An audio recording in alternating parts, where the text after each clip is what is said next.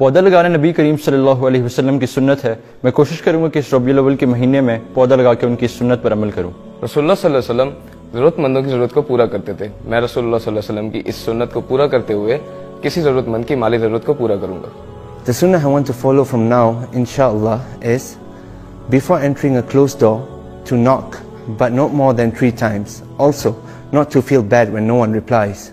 हज़रत मोहम्मद सल्लल्लाहु अलैहि वसल्लम जब भी खाना खाते थे तो उसमें से कोई नुक्स नहीं निकालते थे। अब से मैं भी कोशिश करूँगा कि जब भी खाना पके अगर उसमें कोई कमी पेशी हो तो उस पर मैं शिकायत नहीं करूँगा बल्कि अल्लाह का शुक्र करके खा लूँगा। मैं आप सल्लल्लाहु अलैहि वसल्लम की विलादत के दिन दो शुक्राने के नफल अदा करूँगा। ज़िंदगी में ये मामूल इंशाल्लाह से बनाऊँगा कि हर जानने वाले और ना जानने वाले को सलाम करूँगा।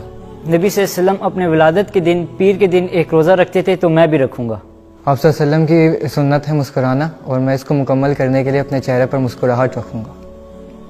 मैं नबी सल्लल्लाहु अलैहि वसल्लम की सुन्नत को अपनाते हुए दो ऐसे अफराद के बीच में सुलह करवाऊँगा जो आपस में नाराज़ हों। हजूर सल्लल्लाहु अलैहि वसल्लम अपने अहल खाना के घरेलू कामों में मदद किया करते थे। इस मंथ में मैं भी अपने अहल खाना के घरेलू कामों में मदद करूँगा मैं नबी वसल्लम की सुन्नत पर अमल करते हुए दूसरों से दरगुजर किया करूँगा और उस पर सब्र किया करूँगा। मेरे प्यारे नबी मोहम्मद सल्लल्लाहु अलैहि वसल्लम गरीब हमसाय का बहुत ख्याल रखा करते थे।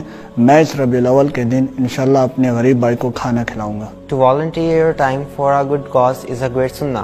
So from now on, I'm going to volunteer a portion of my time for a mosque. आप सल्लल्लाहु अलैहि वसल्लम की सुन्नत थी कि वो लोगों के लिए आसानियाँ पैदा करते थे। तो आज से मैं भी ये सुनना फॉलो करूँगा कि कोई भी रास्ते में तकलीफ़ दा चीज़ नज़र आई तो उसे मैं हटा दिया करूँगा। नबी सल्लल्लाहु अलैहि वसल्लम की सुन्नत थी कि वो बीमारों की इयादत करते थे। इनशाला इस रबी अवल में मैं भी बीमारों की यादत करूँगा। Please like share and subscribe Real Times Network